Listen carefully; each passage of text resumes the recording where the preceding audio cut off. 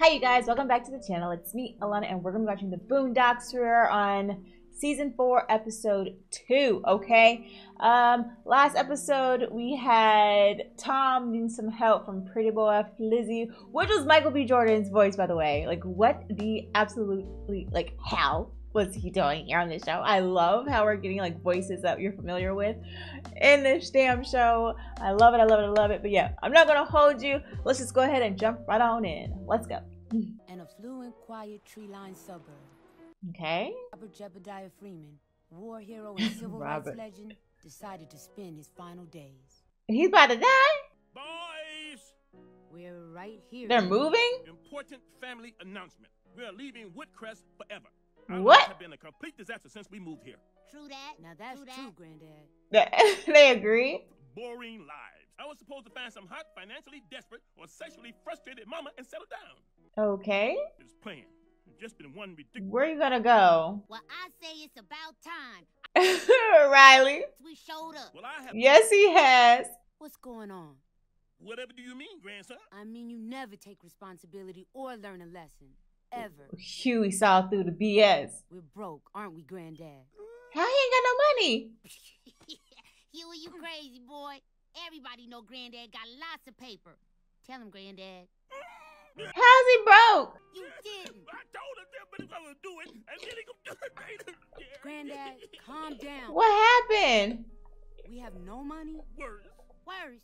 What's worse than a fact? Dad. How much? A couple. A couple. Hundred thousand? Hundred thousand? Millions. You a lie. I refinanced with that damn adjustable rate mortgage. Mmm. And look so friendly. How could I know it would shoot up to 21%? What? 21? Dad, thanks for killing our future. I'm sorry. Mhm, mhm. So, so, He even. Feel embarrassing being the only homeless kid at school, Granddad. if you going to school. Whoa. damn, damn, damn. yeah, I'm crying.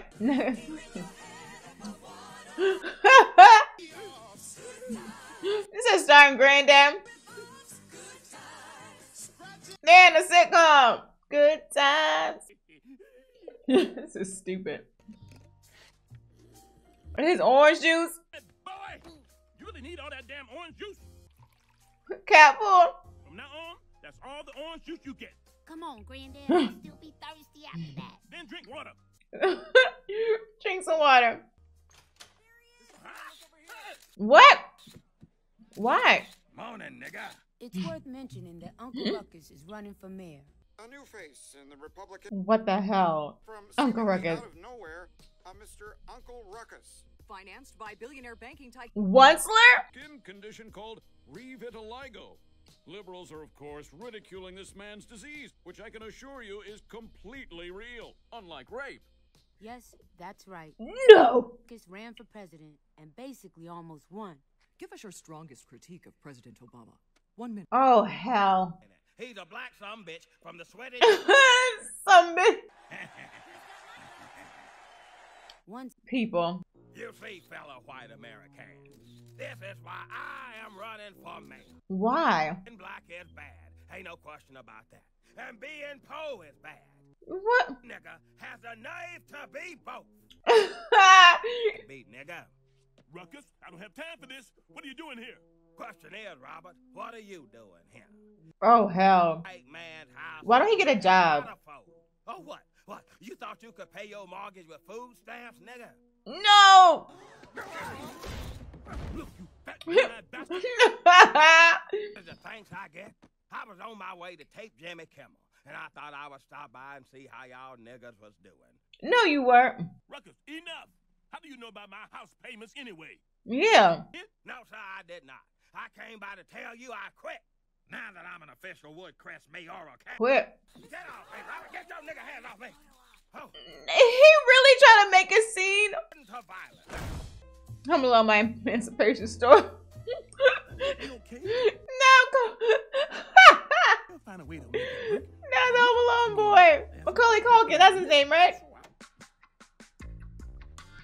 Eddie? Junior? Motherfucking Freeman. What? It's me, Ed Wuncler Jr. Oh, huh? Yeah, we never met, but my father talks about you so much, I feel like I know you.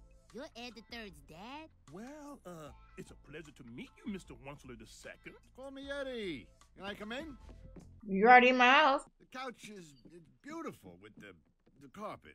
Oh, I- I'm sorry. This is my assistant, Vanderbilt. You do have a lovely home. I used to have a lovely home. Let's see what. Until it was taken. Hmm. So look, I don't want to waste your time. You just steal their pen? Yeah, about that. Look, I'm just here These? to get you the fuck out.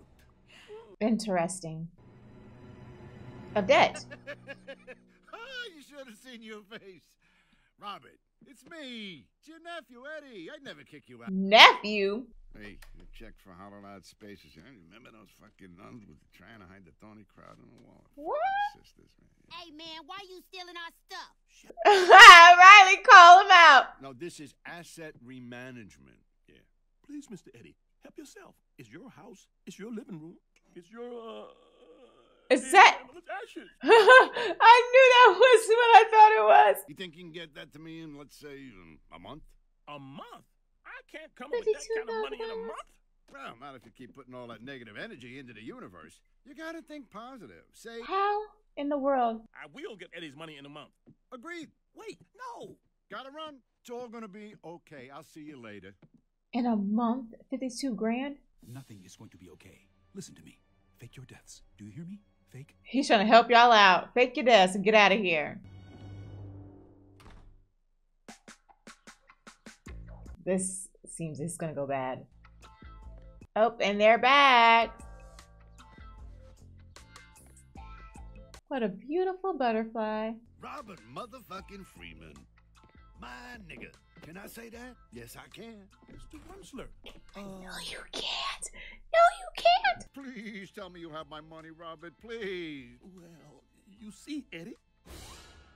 What? Please. Yes, well, I'm working on it, but I don't have the money right now. You don't have my money. Well, I don't have all of it. How much you have? Riley, bring the suitcase with the money. what the hell? Seriously, where's my money? You don't have my money? I can't believe this. We can make money off the house together. We rent out each of the rooms as a separate unit. Two bedrooms, guest room, living room. This is going to be so ghetto. Genius, right? Whoa, wait. Yeah, man, slow down. I'm Slow down! If you're really enjoying this reaction and want to see the full uncut version, please join me over on Patreon. There you'll have access to all the shows you see here on YouTube and the Patreon exclusives. And don't forget before you leave to comment, like, and subscribe. I love it. It'll be like a commune. Huey, you'll have plenty of people to talk to and share all your political ideas. Where do we live? The garage. It's damn near like a whole other house. I'm telling you, y'all could HGTV that shit up. Make this shit fly. This is bananas. I told you. Never too late to fake your own death. So I try to warn y'all. How many people are in here? And he's letting. We got people sleeping on the carpet. His bedroom door is locked. He can't even. Motherfucker.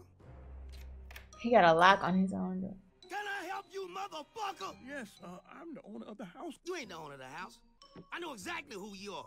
What the fuck do you want? To use the bathroom? Bathroom? There's a bathroom downstairs, motherfucker. Yeah. Oh, hell. Word to you. I prefer you get the fuck out of my face, nigga. Oh, Are we about to have a Oh, snap. Are we about to have a nigga? mo- Not a moment. I don't want to have a nigga moment. I just have to go to the bathroom. That sucks. Living in a garage. Man can't truly call himself a man once a stranger's ass cheeks has been on his private toilet. It's all your fault, Granddad. It You really turned our life into good time. Good times. We still live in a nice neighborhood. Yeah, for now. You might have to get a job, Granddad. That's what I said earlier. Why can't y'all get jobs? They're Child underage. Labor laws, unsafe workplaces, really small hands. That's garbage. You're... Plus, who's even hiring now? Oh, Uncle Ruckus. gave up work to run for mayor. I didn't give up work. I gave up working for niggas. And and other fellas like Mexicans and sand people. Now you better grab some stuff Oh, and hood. Wax on, wax off, nigga. He needs a bigger shirt. And you are not Mr. Mis- uh, was it teacher? Was it ah Miyagi? That's his name. Mr. Miyagi. Come on, man, let's sweat more scrub. I don't know why they fired the sand people. No, they did not. Call work. That's what white folks been doing their whole lives. Shut up, Ruckus. When do I get paid? I don't know, nigga. You fired. Fired. Oh, I got laid off at the car wash today. Damn. Oh man, what you do now? Nothing. It was a temporary layoff. Huh? Ruckus is back on the scene, Hannity. small town feathers with bold ideas. Barack Hussein Obama thinks black people made this country great. Black African Negro man. Put that nigga in chains. Drag his black ass all the way over here to America to do some productive work. Now that's what's made America great. what the hell? Because the China man uses slave labor and we don't.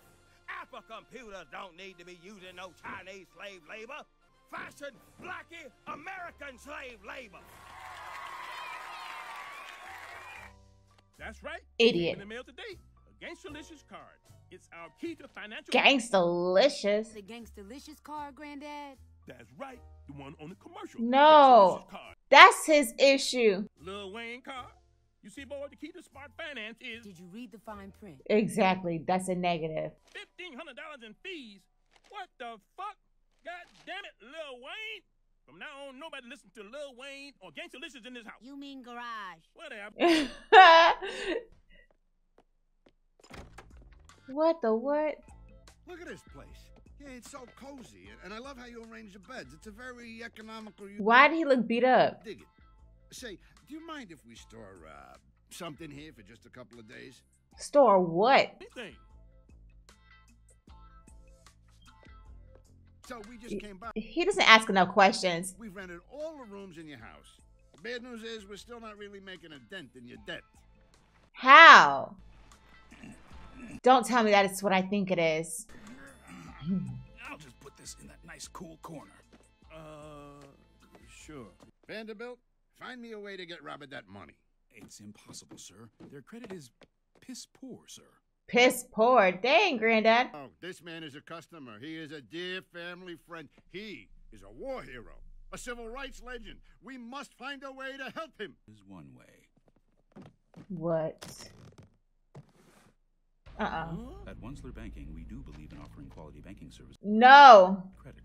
Alone. Yes, I'll take it. Done. Fine print, Robert. I believe in you, Robert. I believe in the Freeman family. Freeman family. You're more stupid than I thought. You are. Idiot. Did you check the interest rate? 150% interest. What's that mean? Y'all know I don't do math. It means now I'm another million in debt. It was a ripoff. An easy credit ripoff. Huey, you need to knock your granddad out. What is that? A body.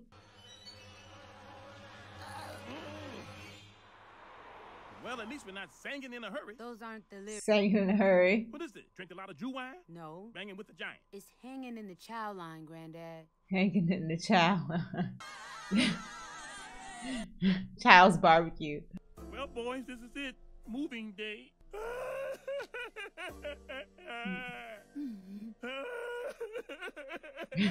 So unfortunate. This is our male role model. you get me my money or you're fucking dead.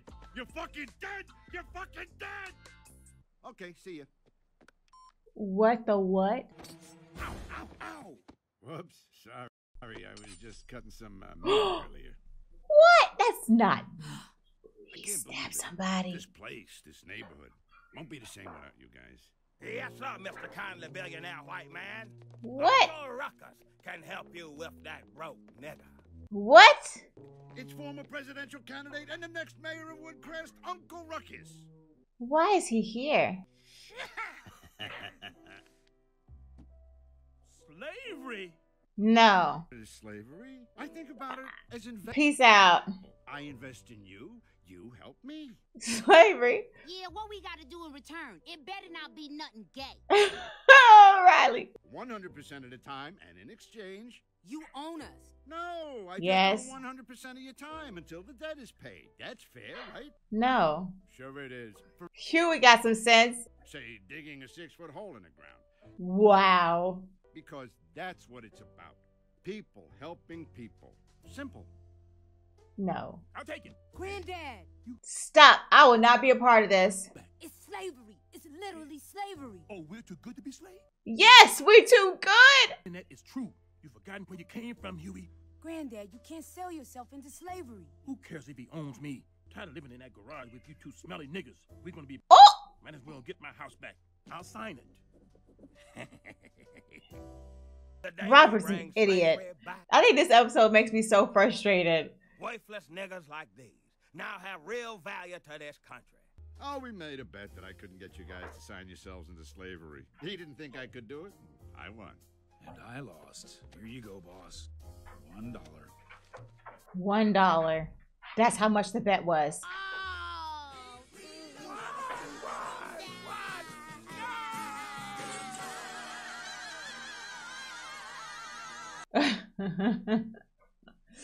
this episode made me very frustrated with Granddad.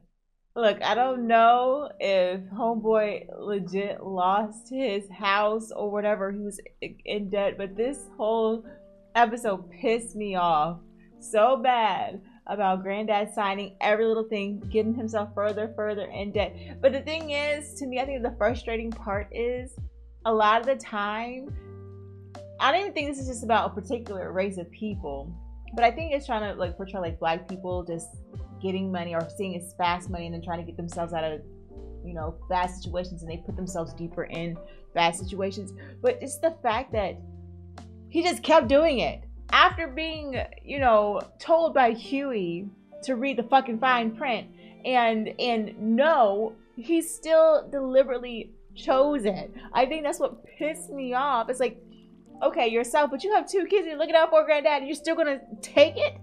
You idiot. Like, ah, this this episode definitely frustrated me. Definitely frustrated me. But yes, you guys, thank you so much for watching this episode. And I'll see you all in the next one. Peace out.